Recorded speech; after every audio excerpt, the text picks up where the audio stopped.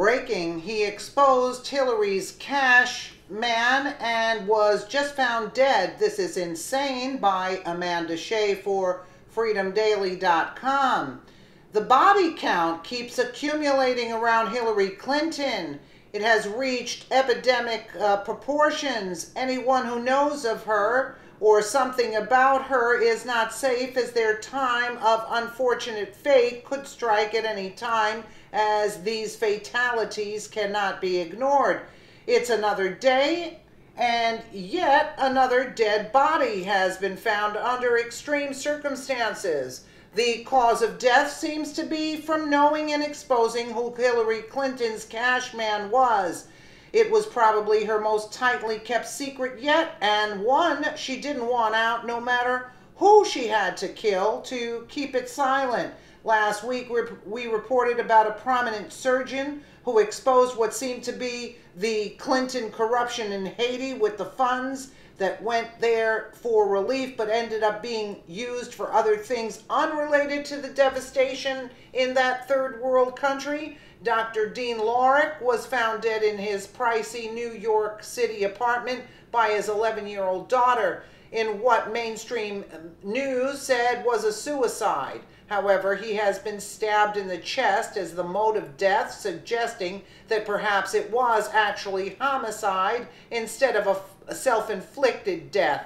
The way he died would have been practically particularly difficult to do himself. Furthermore, when his daughter found him and called for help, she reported it was an assault, a fact that Democrats are desperate to hide. Lorich wasn't the last sudden death, as we're now getting word of another more brutal murder with a very specific tie to Hillary. Under the most alarming circumstances, an inquisitive alternative media journalist has just been found dead. The timing was perhaps not ironic, given that he had just exposed corruption within billionaire liberal financier to all things wrong in America, George Soros and his organization. Bekir Rabbani had investigated and exposed the well known far left group that operates and runs completely on Soros's funds, who also happens to be a friend and confidant of Hillary's.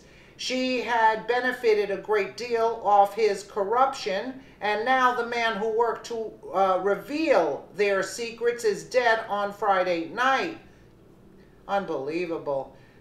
Freight, Freightator SE reports as translated from Swedish to English. The cause of death is still unknown, but several theories about it have spread on the internet. The death occurred within hours after Bakir Rabbani uh, had released a movie in which uh, visited the home of multimillionaire Robert Aschberg. Uh, just before Rabbani's mysterious death, he announced that he would release more information about evidence he had uncovered during his investigation. Bashir Rabbani became famous when he went home to express Thomas Mattsson a, and Diamant Salihu earlier this year to ask questions about their journalism. Rabbani filmed the visit, but neither of the two people he visited dared open the door. He then on, uploaded the clip online, which became a viral success.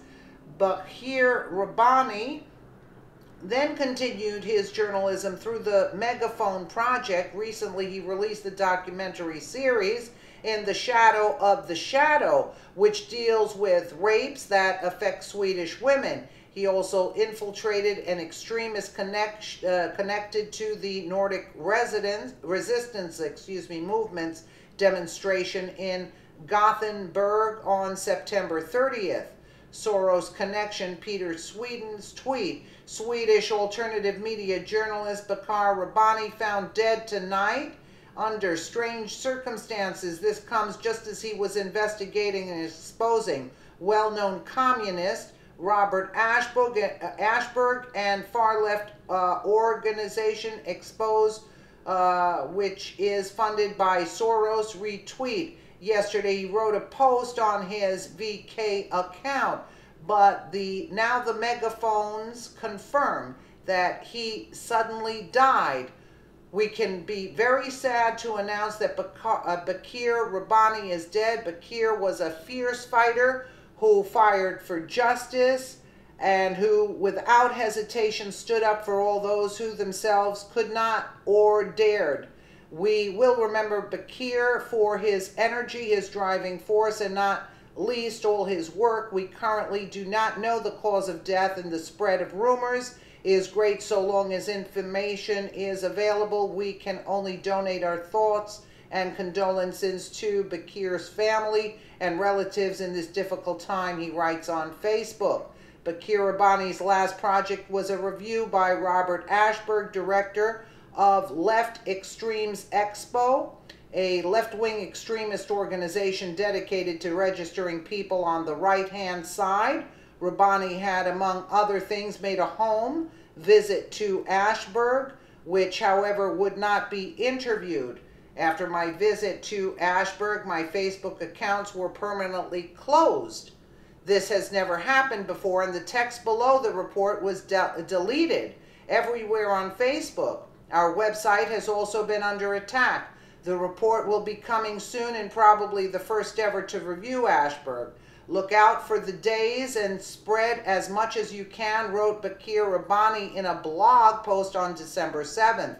Rabbani promised yesterday new information about Robert Aschberg.